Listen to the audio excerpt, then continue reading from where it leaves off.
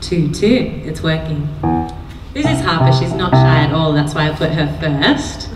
And she's going to be playing one of her original songs again. She's quite a little songwriter. So this one is called Happy from Sad, isn't it? Now she wants it back. Just want to check your balance.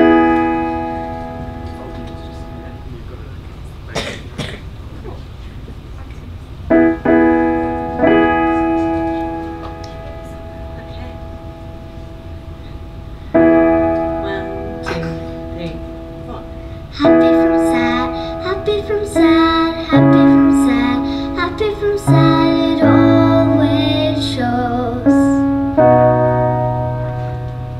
Happy from sad, happy from sad, happy from sad, happy from sad,